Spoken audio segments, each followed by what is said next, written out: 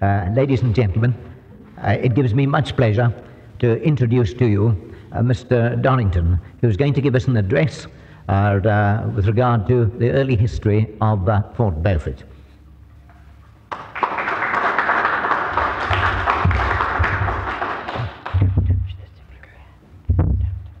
Mr. Driffield, ladies and gentlemen,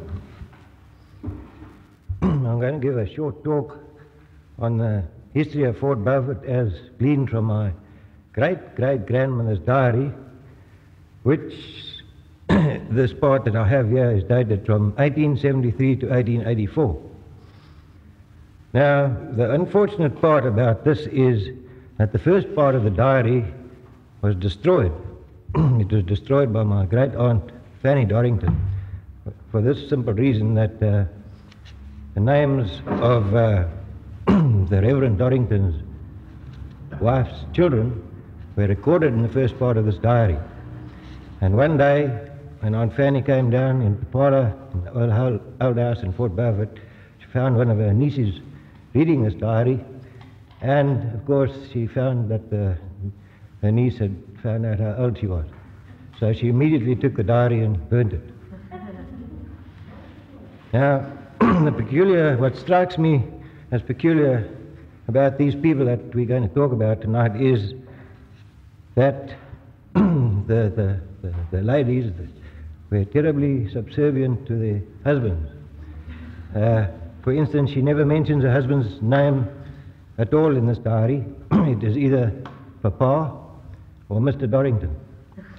It's not like my wife, she's got a couple of names for me, according to my peculiarity. They were indeed peculiar people, as I would like to illustrate. I once heard my grandmother describing about a family that she knew or had heard talked about in the Bedford district.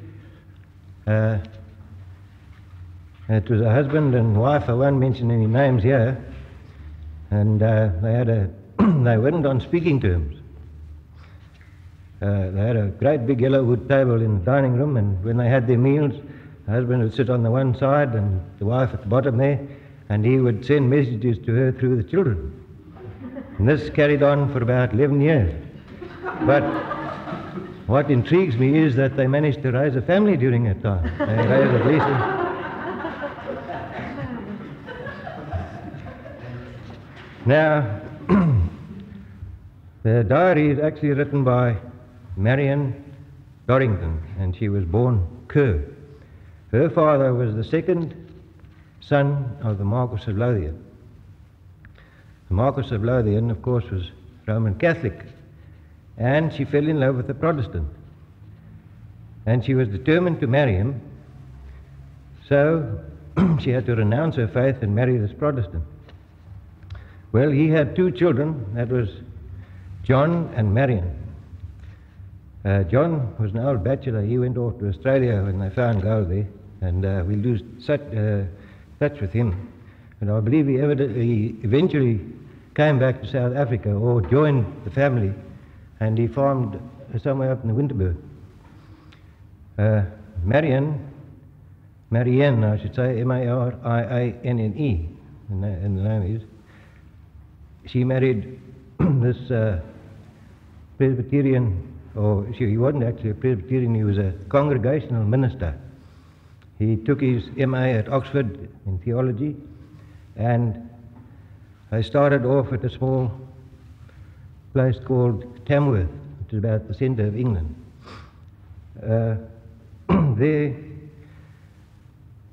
the father, her father, had meanwhile been cut off from his uh, from his family, the Marquis of Lothian, and he started a perfumery business at Maidenhead. Well, there, there must have been some trouble at, uh, at Tamworth because she, uh, they, uh, they lived there for a number of years and the, all their children were born there. Uh, for the sake of clarity, I will name them. There was John, the eldest, and Marion, who died. There was Matilda, who also died, Emily, Fanny, and Selina, and Charlie, who was my grandfather.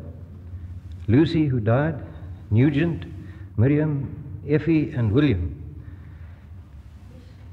Now, there must have been trouble at Tamworth because on uh, the 1st of March 19, 1873, an uh, entry in a diary, and she starts, they were terribly religious, these people. She starts out with a text, James, the first chapter, first chapter, verse 5. Apply to God for wisdom to teach and help us to hear our trial, to bear our trial. I've had but a few trials, but these have been sharp and sudden. The death of my dear mother, the dismissal from Tamworth, leaving home, and my dear father, the deaths of my children. But I see now that God does all things well. Well, the, the Reverend Dorrington must have been dismissed from Tamworth, and he went to the London Missionary Society uh, and uh, asked to be sent out to South Africa. Of course, this is in, all in the first diary. I'm just uh, describing this from here, sir. And they were appointed to the church at Fort Beaufort.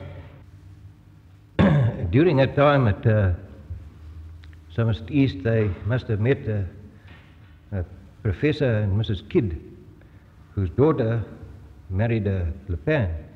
And uh, the story goes that this Le Pen was a speculator in the district, and he was very fond of the ladies. He came home one night, and uh, his wife accused him of this, and he out with his sjambok and he thrashed her to death.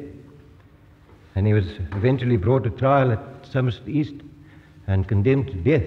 The story goes that he used his money, he was quite a well to do man, to bribe the warder there, and they filled the coffin with stones and lead, carried it out, and he was at large. Well, after they reached Fort Beaufort, uh, Mrs. Dorrington's father died, and the perfumery business was sold, and with her portion of the inheritance, they built the manse in Durban Street, Fort Beaufort. I think Mr. Lawford will know that quite well. It's just opposite the, the church itself. It, uh, it's a double story building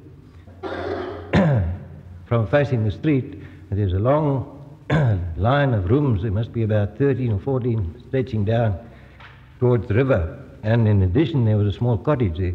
That was built for the simple reason that uh, the minister's stipend at that time was 80 pounds a year.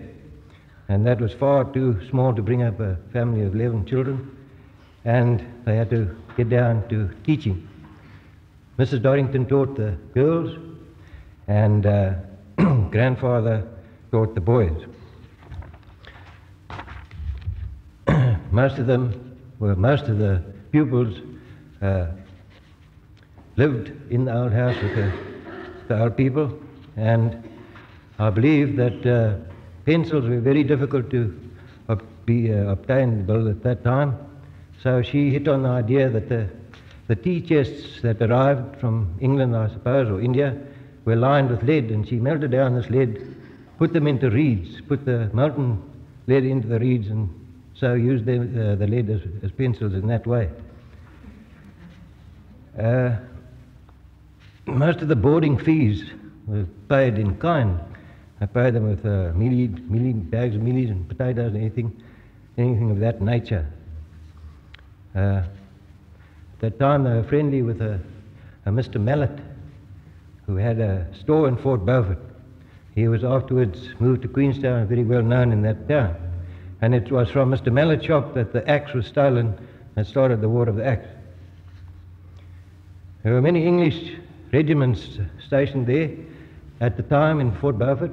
they were sent from India and the Far East, China, as a kind of a rescue in South Africa before they were sent back to England. Now, the officers' mess was uh, where the prison museum is now, and uh, in those days, the water furrows were full of water. Well, it uh, recorded that uh, these officers used to have uh, dine very well in the evenings, and uh, especially uh, the, the end of the meal was always rounded off with walnuts. Then the shells were taken and fashioned into small boats, and they would put these boats on the water furrows and lay bets to see whose boat would reach uh, in front of the man's, man's first. And I can imagine my great grandfather and great mother peeping out the curtains and saying, Good gracious, just look at those wicked fellows gambling. Well, my, my grandfather, Charles, got to know these officers and uh, soldiers very well, and he decided that he would like to be an officer as well. In fact, his whole life was taken up with military. He was a born soldier from, from that time onwards until he died.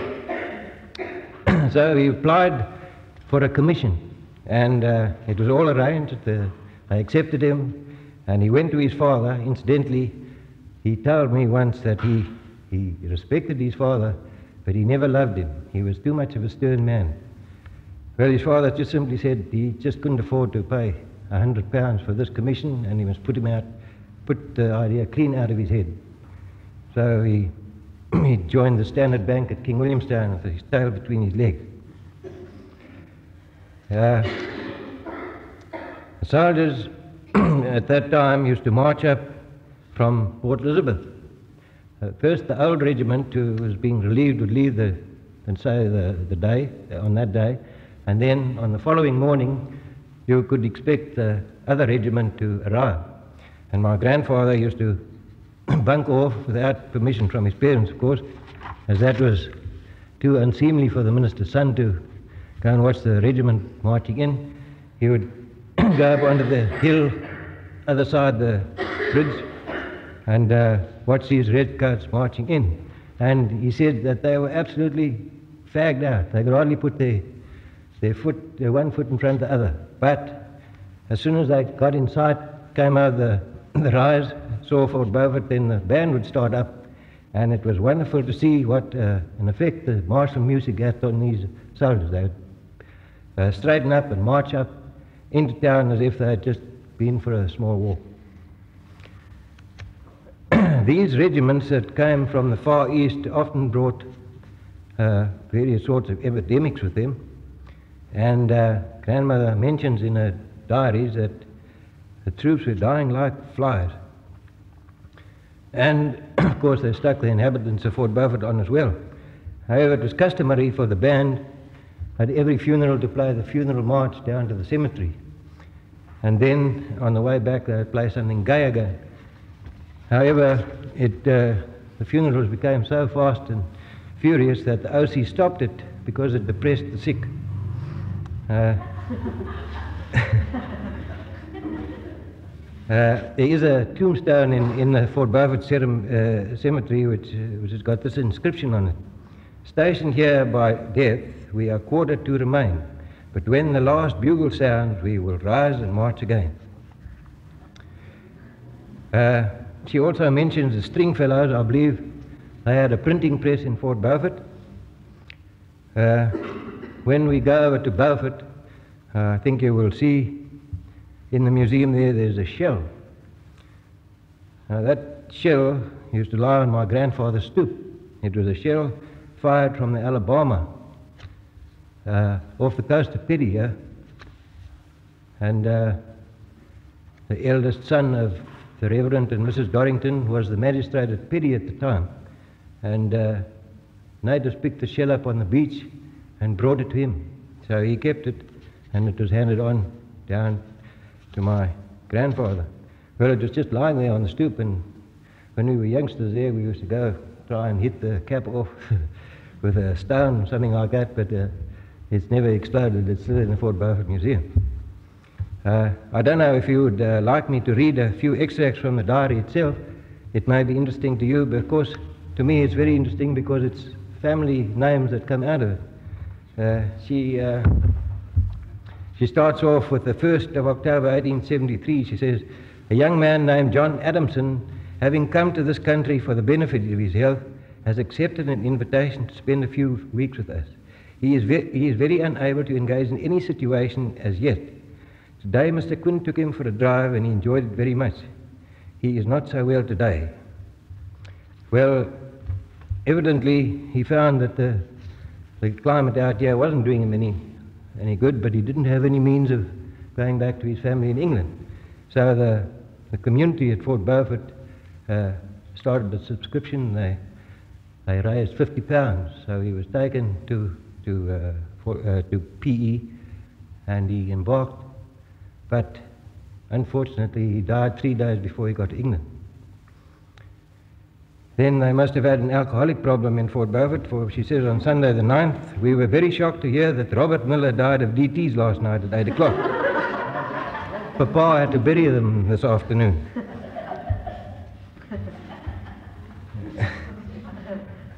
Then, on the 21st of October 1873, she says, Since I last wrote in my journal, I have been to Queenstown and had a very delightful journey up and down. I saw Nugent off as far off to the Goldfield. Now, Nugent uh, started off, he, he had a few ostriches in Fort Beaufort, found this couldn't pay, so he heard that there was gold being discovered on the reef, and he off to the Goldfield. And from there, he, well, he, he walked up there, and he, from there he walked to Delagoa Bay. And it took him two years before he got back again. But he kept on sending his brother a few pounds every now and then, so she was very pleased about that.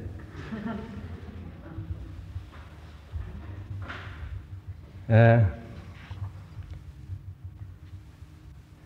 so, oh yes, she says here on the 30th of March, uh, I received a letter from our dear young friend Adamson's sister stating that the dear youth never reached home but died on the 1st of January 1874 and was buried at sea three days sail from Southampton.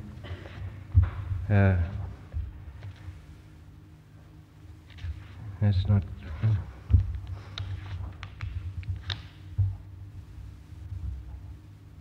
she says on the 6th, that's uh, also 1874, a, a, memorial, a memorial, memorable day. River rose terribly high, came up to our pomegranate hedge. Then on the 7th, the river began to subside about 6 o'clock last night, but it drained all night and nearly all day. Uh, we, we took a look at the bridge, many hands employed to repair it, but it is sad to look at. Uh, fine drying weather, most of the houses are drying up. Uh, we at Beaufort suffered little in comparison with other places. I fear we shall have a great loss of life as the floods have been so general. No post till today, Grahamstown and King Post cut off.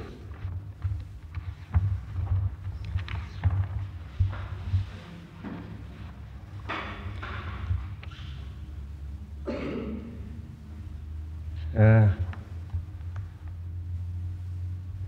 Then on the 25th, that's 1876, this is rather a sad part where her husband uh, gets taken ill.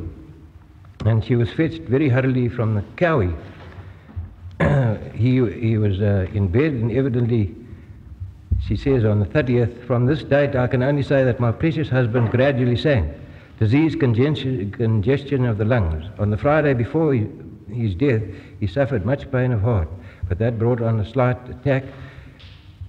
And he slept his last sleep, very tender towards me, and his last dying words commended me to the peculiar care of Mr. and Mrs. Tudor, which I'll have, never, never forget. Forget him. Well, he was buried in the Fort Beaufort Cemetery uh, a few days later.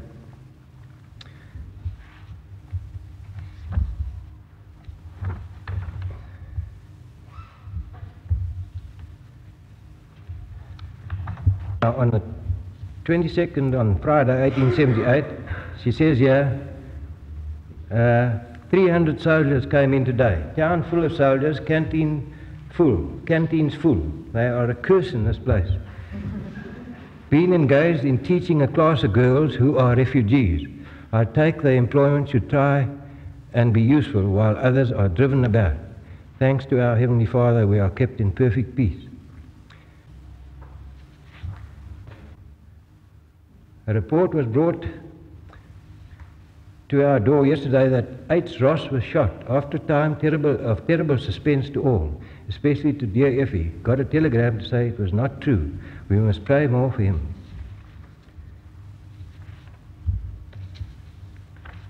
War is still rampant and, and hurrying our young men into, untimely, into an untimely grave. A time of great mourning all to our, to our, all our colony. distressing accident to Mr. Young of Lovedale. His spider in crossing a kacha at Alice upset. The gully full, his mother and dear child, the eldest of Mrs. Rivers, drowned. What agony to the parents. I just wanted to read you the death notice.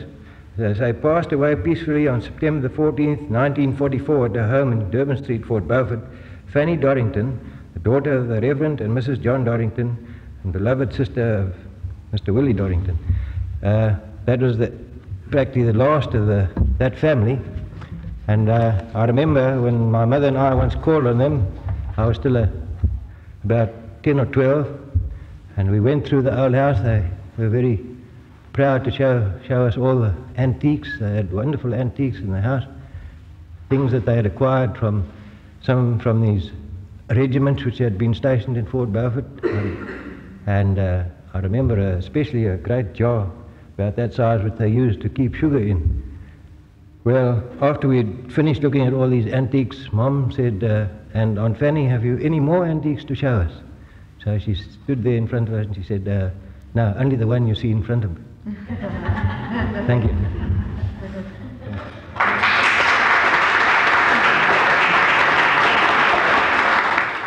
Ladies and gentlemen, we've listened to a most interesting address by Mr. Dorrington, and we thank him uh, um, very much indeed for coming along here, uh, giving up his time, and delivering uh, to us this uh, excellent uh, address.